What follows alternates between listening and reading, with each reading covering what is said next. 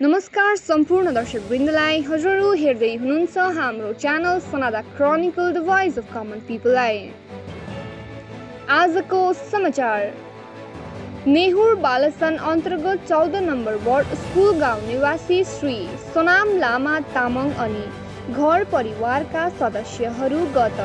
तिन दिनदेखि ज्वरो अनि खोकीले सताइरहेको हुँदा उहाँका सम्बन्धित आदर्श परिवारका सभापति श्री एसके चामलिङको विशेष अनुरोधमा अनि गोजा मोमो चुङ सन्त मेरी समिष्टि सभापति श्री राजेश गजमेरको पहलमा तिनीहरू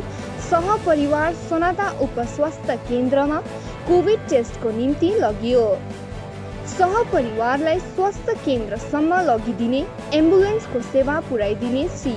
बवेन्द्र राई अनि भाइचुङ तामाङलाई समाजका प्रतिनिधिहरूद्वारा धन्यवाद ज्ञापन गरियो।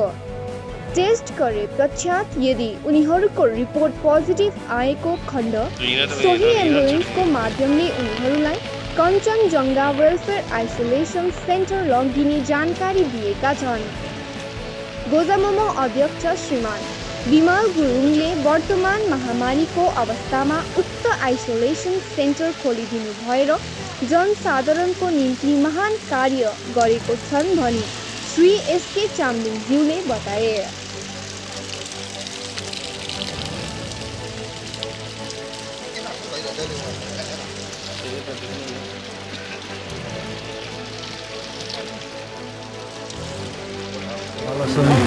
प्योर बालासन। गोराबारी ग्राम पञ्चायत वार्ड नम्बर फोर्टिनबाट फोर्टिन अन्तर्गत स्कुल गाउँबाट हाम्रा परिवार श्रीमान रामकुमार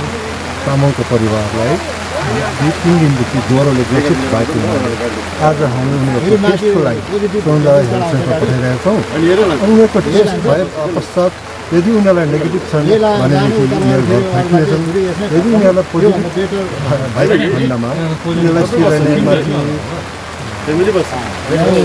तकबर कञ्चनजङ्घामा त्यहाँ पुऱ्याइने र यो बिमार हामीले यस आजको यो महामारीबाट पीडित जति नै ग्रसित छन् परिवारहरू यिनीहरू सबै सबैलाई हामी धेरै धेरै शुभकामना दिन्छौँ उनीहरू सबै सकुशल घर फर्केर सुस्वस्थ भएर फर्कियौँ भने अनि यी बिरामीहरू लिनु जुन हाम्रा भाइहरू आउनुभएको छ सोनदाबाट